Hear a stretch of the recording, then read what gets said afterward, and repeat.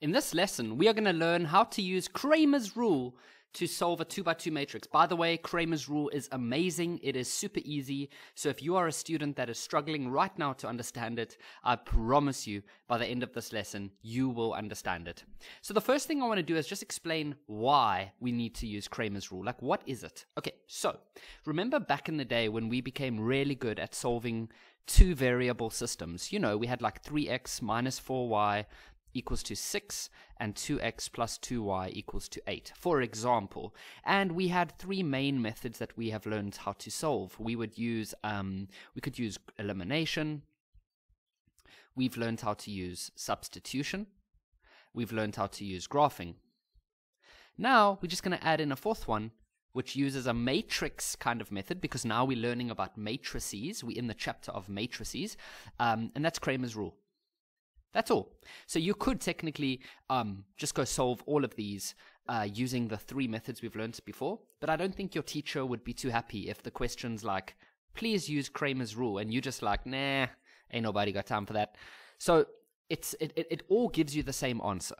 Okay? It's just a different technique and i like it it's actually pretty cool you might like it as well um, it's nothing weird um, as long as you know how to work out the determinant of a 2 by 2 matrix then this thing is so easy so here we go. Step one, what I want you to please make sure though, um, is that you always have your x's uh, first, and then you have your y's, and then you have numbers on the other side. So for example, if I gave you a system that looked something like this, um, and let's say this one was like 2x minus 3y equals to 6.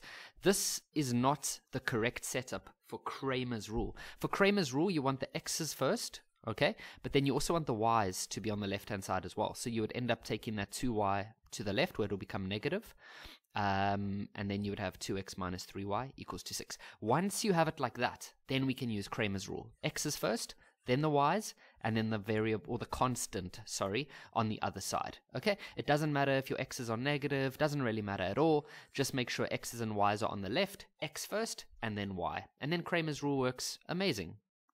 So there are three main things that you need to, or let's first actually, sorry, I'm jumping the, I'm jumping ahead here. So what you're going to do is you're going to turn this into a matrix because we're in the chapter of matrix matrices. So Cramer's rule is a matrix kind of method to solve a two variable system. Then what you're going to do is you're going to take these numbers, all the numbers that are in the front there, and you're going to turn that into a matrix. So 4 minus 1, 6, and 4. Okay? And then you're going to, um, I don't know, some teachers just put a line like this, and you're just going to put the 18 and the negative 6 or however you want to write that. Okay, so the way that it works is the following. We need to go work out three things. We need to go work out the determinant, like we've always done in the past. Then we're going to work out something called the determinant of x, and then the determinant of y. Okay, if we can get those three things, then we're good to go. So let's start with the determinant. Now that's just the determinant of this normal matrix. You know, where we just do 4 times 4, and then we say minus, and then we just say minus 1 times 6. That's just the normal determinant that we've always done for a 2 by 2 matrix. So that's going to be 4 times 4, subtract, and then negative 1 times 6 is negative 6. So it's going to end up becoming 16 plus, because that becomes a plus 6, and that's 22. Okay, so we have our first step done. The determinant is 22. Now, listen up. This is where things get a bit interesting. So remember that this column here is your x's, this is your y's.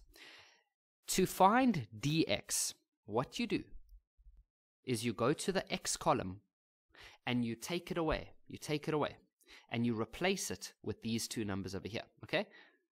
But I'm going to actually just leave it like that for now, and I'm rather going to make a new one. Okay, so you're going to take the x, so this is our dx matrix. So you take the x's away, everything else stays the same. And what you do is you replace these x's with this over here. Okay, so that's going to become 18 and negative 6. Then you just go work out the determinant of that. So it's going to be um, 18 multiplied by 4 minus or subtract negative 1 times negative 6 is positive 6 and so that's going to give us 72 minus 6 which is what's that 66 okay so we have dx. Fantastic. Now to find dy you've guessed it. You're just going to go back to the original. Please don't use this one now. Go back to the original okay? And you're going to look at the y column now because why are we're looking at dy? So you look at the y column and you're going to replace the y column with 18 and minus 6, but now this part you're going to keep it as it was. So don't use these numbers. We always go back to the original. So we're just going to change these for these. So this part stays the same, and then we go 18 and negative 6, and now you just go work out the um, determinant of that. And so that's going to be 4 multiplied by negative 6, um, and then subtract. So 4 multiplied by negative 6, and then subtract 18 multiplied by 6. So that's going to be negative 24, take away 108. Okay, and then you go work that out. And that gives us negative 132. Okay, those are the difficult parts. Now, all that you need to do is the following. To work out the value of x, because remember, that's what we're trying to do, right? Um, we're trying to find x and y. So to work out x, you just say dx divided by d. So that's going to be um, 66 divided by 22, which is 3. And then to work out y, you're just going to say dy divided by d. And so that's going to be negative 132 divided by 22. And that gives you negative 6. How easy is that? That's Cramer's rule. I like it, uh, but we're going to do some more examples now, just to make sure you really get it. So I've got another two examples. So this one, and then we've got another one. Okay, so remember, step one, just make sure that this is all the x's and the y's are on the left, x's are above the x's, y's are above the y's, and then the other numbers are on the other side. Because once you've got that, then you can turn it into our normal determinant matrix, so minus 5, minus 5, minus 1 because there's a little minus 1 here, and 3. Okay, uh, let's go make our other dx matrix. So the dx matrix is where you will, oh, and I could also, I mean, your teacher might do this differently, but I'm just going to put that. Now with the dx matrix, so remember this is your x column, this is your y. So with dx, you are going to um, replace all these x's with these numbers over here. Okay? So it's going to be 11 negative 13, and then the rest stays the same, negative 1 and 3. Let's go work out our dy matrix. So now please don't look at this one. Now you go back to the original, and you replace all the y column now with 11 and negative 13. But the rest stays the same, so that's negative 5, negative 5, um, 11, and negative 13. There we have it. So now what we need to go and do is just go calculate each of those. So we're going to go calculate the, the normal um, determinant, then we're going to work out the x determinant and the y determinant. Right, so to work out this one, it's just going to be um, the normal determinant method. So that's negative 15, take away, and then these two multiply together gives us 5, and that's negative 20. Then to work out this uh, dx um, determinant, it's going to be these two multiplied together, which is 33, and then you're going to say minus, and then you're going to multiply these two, which is 13, and that gives us 20. Now we're going to work out the dy matrix. So that's going to be uh, these two multiplied together, which I believe is 65. Take away, and then these two multiplied together is negative 55. So that actually becomes, um, so that's actually going to become a plus. So it's 65 plus 55, and that gives us 120. Okay, now we're almost done. To work out the x now, you say dx over d, and so that's going to be dx is 20, d is negative 20, and so that gives us negative 1. To work out y, you're going to take the dy determinant over d, and that's going to give us 120 divided by negative 20, which is negative 6.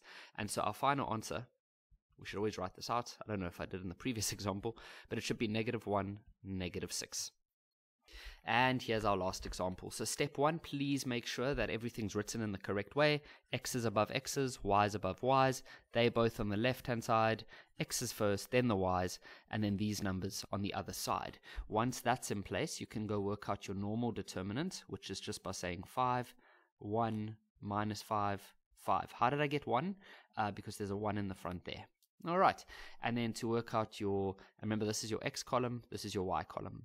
To work out dx, oh, and then I should write these numbers, 20 and negative 26. To work out dx, your, your x determinant, you take these numbers and you replace them. Well, you, you replace the 5 and the 1 with the 20 and the negative 26.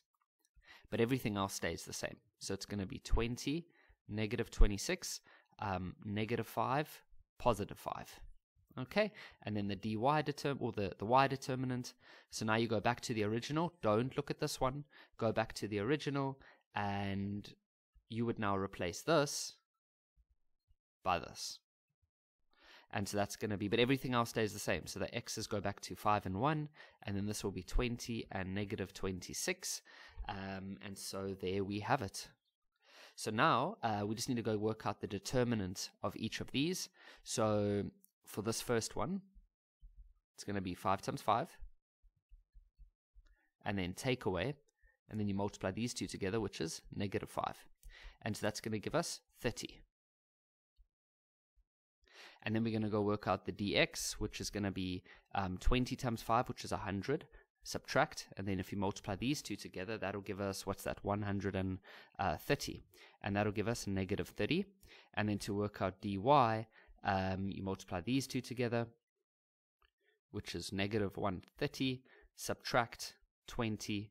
So that's going to give us negative 150.